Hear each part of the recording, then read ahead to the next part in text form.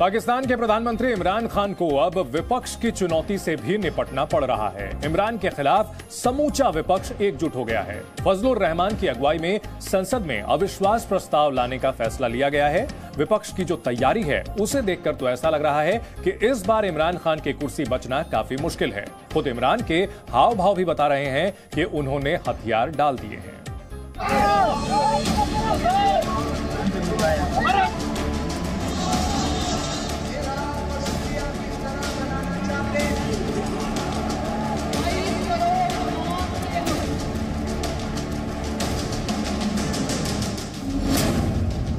चौतरफा घिरे इमरान। अब संसद में घमासान। एकजुट विपक्ष का दांव। इमरान पर अविश्वास। इमरान की कुर्सी जाने वाली है।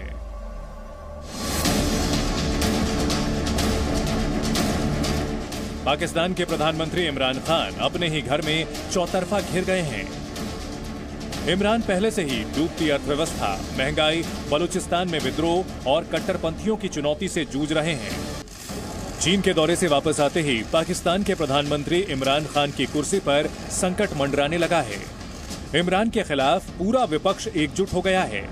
विपक्षी पार्टियों ने मिलकर सरकार के खिलाफ अविश्वास प्रस्ताव लाने का फैसला किया है। विपक्ष इमरान को ललकार रहा है। चुनौती दे रहा है और दावा कर रहा है कि अविश्वास प्रस्ताव के दौरान इमरान सरकार गिर जाएगी। पाकिस्तानी मीडिया की रिपोर्ट के मुताबिक बिलावल भुट्टो और नवाज़ शरीफ की पार्टी ने हाथ मिला लिया है। पाकिस्तान डेवलपमेंट मूवमेंट नाम से गठबंधन बनाया गया है। विपक्षी गठबंधन का नेता फजलुर रहमान को बनाया गया है। विपक्ष ने अविश्वास प्रस्ताव को लेकर तैयारियाँ पूरी कर ली हैं। सरकार को समर्थन दे रहे कुछ नेता भी विपक्ष के संपर्क में हैं। इस बीच पाकिस्तान पीपुल्स पार्टी के अध्यक्ष बिलावल भुट्टो ने ट्वीट के ज़रिए इमरान खान पर निशाना साधा है। भुट्टो ने ट्वीट किया कि अधिकांश विपक्षी पार्टी अविश्वास प्रस्ताव लाने के पक्ष में है। इमरान सरकार ने जनता का विश्वास खो दिया है। जल्द ही संसद भी सरकार में अपना विश्वास खो देगी। इससे पहले पाकिस्तान मुस्लिम लीग नवाज़ की नेता मरियम नवाज़ ने भी इमरान सरकार गिराने का दावा किया था। उन्होंने कहा था कि जल्द लोगों को खुशखबरी मिलने वाली है। पाकिस्तान में अब फिर एक नए, कुछ नए समीकरण बन रहे हैं। पाकिस्तान की विरोधी पार्टियों ने, यानी पीपीपी ने और नवाज़ शरीफ की पीएमएल ने हाथ मिला लिए और इससे लगता है कि शायद कुछ ऐसा हो कि कि इमरान सरकार के लिए खतरा हो जाए। 2021 में भी इमरान सरकार के खिलाफ नवाज़ शरीफ के भाई शाहबाज शरीफ अविश्वास प्रस्ताव लाए थे। लेकिन उस वक्त इमरान सरकार महज एक वोट से बच गई थी। पाकिस्तान नेशनल असेंबली का समीकरण बता रहा है कि इस बार इमरान की कुर्सी बचना काफ़ी मुश्किल है। पाकिस्तान नेशनल असेंबली में कुल 342 सीट हैं। सरकार बनाने के लिए 177 सीटों की ज़रूरत है। इमरान की पार्टी तहरीक इंसाफ के पास एक सौ छप्पन सांसद हैं। सहयोगी दलों के साथ इमरान सरकार चला रहे हैं। विपक्ष का दावा है कि इमरान के सहयोगी उसके साथ आएँगे। विपक्ष का दावा सही निकला तो इमरान की कुर्सी जा सकती है।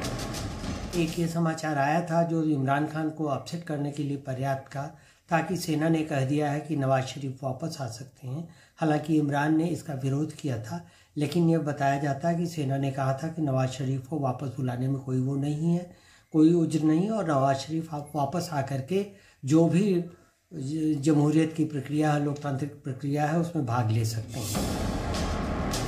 पाकिस्तान में 2023 में होने वाले आम चुनाव से पहले ही इमरान सरकार खतरे में आ गई है।